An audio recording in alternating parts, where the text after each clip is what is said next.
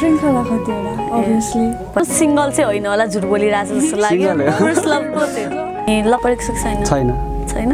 हल्का क्रसिङ त भइहाल्छ तर लभ नै चाहिँ छैन। जबसम्म हामीले ट्राई गर्दैनौँ तबसम्म हामीले केही एचिभ नै गर्न सक्दैनौँ। You get chance to learn with renowned personalities अनि एक्चुली यो पेजेन्टहरूमा आउनु you won't regret joining this kind of pageants जहिले पनि एक्सपिरियन्सहरू गर्नुपर्छ त्यसपछि मात्र हामी सक्सेसफुल हुन्छौँ। I am interested in modelling अनि अब म यसलाई नै करियरमा डेभलप गर्ने सोचिरहेको छु अनि मलाई मेरो फ्यामिलीले नै इक्वली सपोर्ट Equally. मोडलिङमा टाइम चाहिँ लिमिटेड हुन्छ अनि त्यहाँबाट नै उनीहरूले त्यति टाइम लिमिटमै दे सुड अचिभ एभ्रिथिङ कि मोडलिङ करियरमा चाहिँ अब पैसा कमिँदैन भनेर फ्यामिलीहरू ब्याक हुन्छ भनेर नै फ्याम प्यारेन्ट्सहरूले हामीलाई एलाउ गर्दैन। अब कन्फिडेन्स गेन भएपछि त दे क्यान अचिभ एनिथिङ हुन्छ नि? मिस नेपालसम्मै पुग्ने। आश छ अनि त्यही मार्क्समा अप एन्ड डाउन भयो so that I am runner up मेरो एम चाहिँ खासै भनेको टु बी द टप हो होइन? विनर नै हुन्छु जस्तो लागेको थियो तर by luck first runner up भएको। आकाङ्क्षा सौगात तपाईँहरूलाई। स्वागत छ श्रुपेज अनलाइन टेलिभिजनमा। नमस्ते। नमस्ते। Hello everyone my name is Akanksha Arya first runner up of teen model of the year twenty twenty one hello everyone मेरो नाम सौगात देवान। म चाहिँ first runner up of teen model of the year अनि आकाङ्क्षाजी हजुरको चाहिँ जर्नी कस्तो रह्यो त यो फर्स्ट रनर अपसम्मको जर्नी एकदमै रमाइलो रह्यो। एकदमै मेरो त फर्स्ट एक्सपिरियन्स थियो। आई वाज फ्रेसर अनि एकदमै रमाइलो एक्सपिरियन्स कलेक्ट गरेँ मैले। अनि सौगातजी हजुरको? एक्सपिरियन्स भन्नु पर्दैमा चाहिँ अब एक्सपिरियन्समा अप एन्ड डाउन त भइहाल्छ। कहिले काहीँ नराम्रो लाग्थ्यो। फर्स्ट फर्स्टमा चाहिँ ट्रेनिङ गर्नै कस्तो अल्छी अल्छी लाग्थ्यो। जतिखेर पनि हिँडाएको हिँडाइ मात्र गर्थ्यो। अनि पछि फेरि पछि पछि चाहिँ अब पुरानो हुँदै गएपछि सिक्दै गएपछि चाहिँ रमाइलो लाग्नु थाल्यो। रमाइलो लाग्न थाल्यो। अनि कतिको साथी बनाउनु भयो त तपाईँहरूले? अँ, फर्स्टमा चाहिँ सबैसँग इन्टरेक्सन गर्न गाह्रै भएको थियो। अनि टाइमसँगै सबैजनासँग क्लोज भयो बाहिरतिर जाने आफ्टर ट्रेनिङ सबै भइहाल्यो। अनि सबै लाइक सबैजना कन्टेस्टेन्टसँग मेरो राम्रै रिलेसन रह्यो ओ आकाङ्क्षाजीलाई मैले सोध्न चाहेँ कि विनर हुन्छु भन्ने एक्सपेक्टेसन थियो कि फर्स्ट रनर अप नै हुन्छु भन्ने थियो? विनर हुने नै एम्बिसन थियो मेरो। अनि उहाँ कम्पिट गर्ने सबैजना एकदमै कन्फिडेन्ट ब्युटिफुल होइन हार्डवर्किङ पनि हुनुहुन्थ्यो।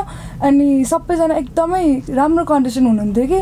अनि अब एम्बिसन त सबैको विनर नै हुन्छु भन्ने लाइक अनि एउटा क्राउन सबैजना चाहिँ धेरै कन्डिसन हुन्छ नि त। अनि हल्का डर पनि थियो अनि आई ह्याड कन्फिडेन्ट जित्छु भनेर चाहिँ तर रनर अप भएँ। त्यसमा नि ठिकै छ आइ एम ग्रेटफुल अब के कारणले चाहिँ अब म विनर हुन सकिनँ? रनर अप मात्रै भएँ जस्तो लाग्छ त।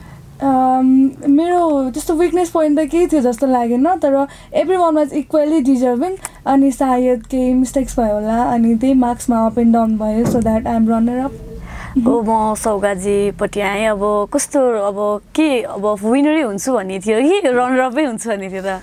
मेरो एम चाहिँ खास गरी भनेको कि टु बी द टप हो होइन? विनर नै हुन्छु जस्तो लागेको थियो तर by luck first runner up भएको।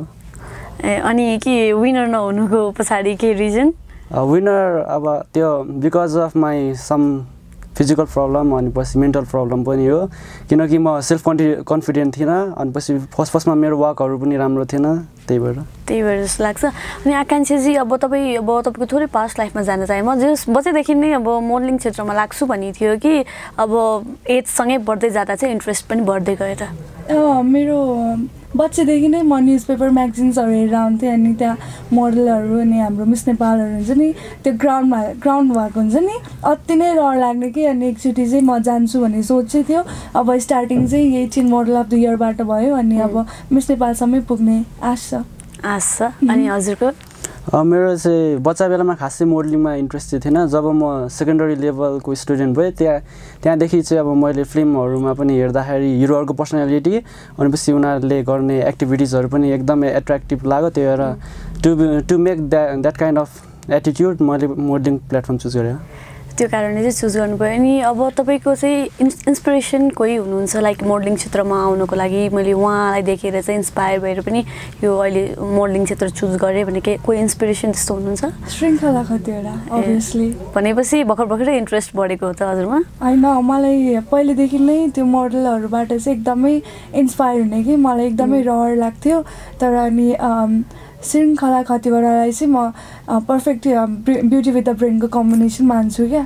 अनि उहाँबाट नै इन्सपायर भएर नै अब पेजेन्टहरूबाट स्टार्ट गर्दै मिस नेपाल नेसनल पेजेन्टसम्म पुग्ने एकदमै ठुलो रहर भनौँ न।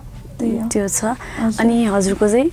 मेरो त टु बी अनेस्ट मेरो खासै त्यति साह्रो मेरो यही नै मेरो रोल मोडल हो भन्ने चाहिँ थिएन। मैले फिल्म इन्डस्ट्रीमा अब जब नेपाली फिल्म इन्डस्ट्रीहरू एकदमै हाइली डेभलप हुन थाले त्यसपछि हिरोहरू हेर्नु थालेँ अनि हिरोहरूको पर्सनालिटी देखेर अब इन्सपायर भएको। त्यहाँ हि तपाईँहरू चाहिँ तपाईँ चाहिँ हिरो एक्टर देखेर इन्सपायर हुनुभयो। होइन? उहाँ चाहिँ श्रृङ्खला खतिवटा देखेर भन्नुभयो होइन अनि त्यसपछि जस्तै आकाङ्क्षाजी अहिले चाहिँ यस्तो छ नि त मेलको कम्पेरिजनमा फिमेलको चाहिँ अब यो मोडलिङ सेक्टर या ब्युटी पेजेन्टमा चाहिँ एकदमै धेरै अब स्कोप छ भनिन्छ या देखिन्छ भने अब मिस्टर नेपाल भएको खासै हल्ला हुँदैन।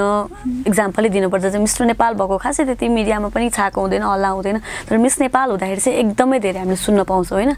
अब तपाईँले चाहिँ के फिमेल र मेलको बराबरी नै छ स्कोप जस्तो लाग्छ यो सेक्टरमा चाहिँ? मेरो ओपिनियनमा चाहिँ गर्ल्सहरू आर मोर इन्ट्रेस्टेड इन यो ब्युटी रिलेटेड अनि कुराहरूमा कम्पेयर टु बोइज बोइजहरूलाई अब अ, यस्तो ब्युटी पेजेन्टहरू भन्दा पनि स्पोर्ट्सहरूमा बढी इन्ट्रेस्ट हुन्छ नि त। अनि गर्ल्सहरूलाई चाहिँ ब्युटी मेकअप ग्ल्यामरहरूमा अलिक बढी इन्ट्रेस्ट भएर गर्ल्सहरू यस्तो ब्युटी पेजेन्टहरूमा आउने अनि उहाँहरूले नै पपुलारिटी गेन गेन गर्नुहुन्छ जस्तो लाग्छ।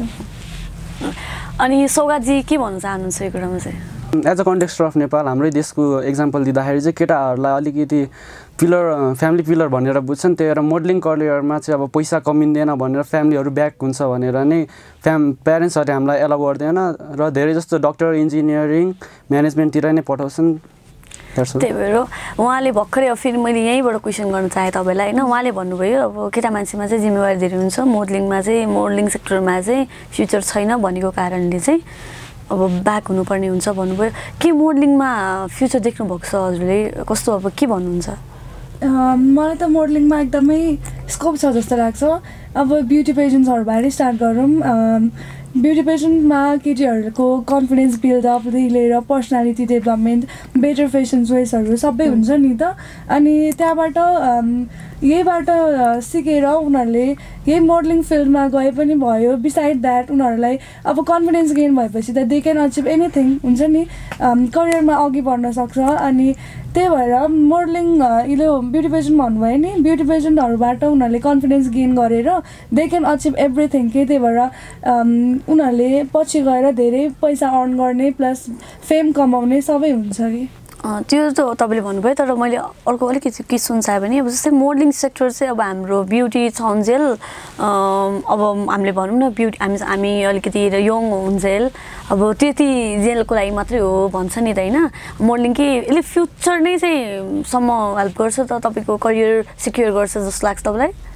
करियर सेक्योर भनेको अब टाइम लिमिटेड हुन्छ मोडलिङमा टाइम अब मोडलिङ भनेको नै कुनै राम्रो कुरालाई रिप्रेजेन्ट गर्ने हो नि त अनि आफूमै ब्युटी छन्जेल अ, मात्रै उनीहरूले त्यो कुरालाई पनि रिप्रेजेन्ट गर्न सक्छ कि? With their beauty with their personality भनौँ न। त्यही भएर मोडलिङमा टाइम चाहिँ लिमिटेड हुन्छ। बट मेरो ओपिनियनमा चाहिँ मोडलिङमा टाइम चाहिँ लिमिटेड हुन्छ अनि त्यहाँबाट नै उनीहरूले त्यति टाइम लिमिटमै दे सुड अचिभ एभ्रिथिङ कि? त्यो लाइफ लङ एसेट चाहिँ होइन cause beauty fades away away with time अनि अम, त्यही भएर ब्युटी लङ लास्टिङ एसेट्स नभएर नै ब्युटीमा टाइम लिमिट हुन्छ त्यही भएर उनीहरूले त्यति टाइममै सबै कुराहरू एचिभ गरिहाल्नुपर्छ त्यो पछिसम्मको लागि चाहिँ इट्स वर्थलेस जस्तै सौगातजीलाई मैले अर्को एउटा क्वेसन के गर्न चाहेँ भन्दाखेरि चाहिँ तपाईँ तपाईँलाई फ्यामिलीको फ्यामिली सपोर्ट अब कतिको छ यो मोडलिङ सेक्टरको लागि चाहिँ? मेरो फ्यामिलीहरू चाहिँ एकदमै अब ओपन माइन्डेड हुनुहुन्छ। अब जस्तो छोराले जे गर्नु मन लागे पनि गरोस् तर राम्रो बाटोमा हिँड्नुहोस् भन्नुहुन्छ।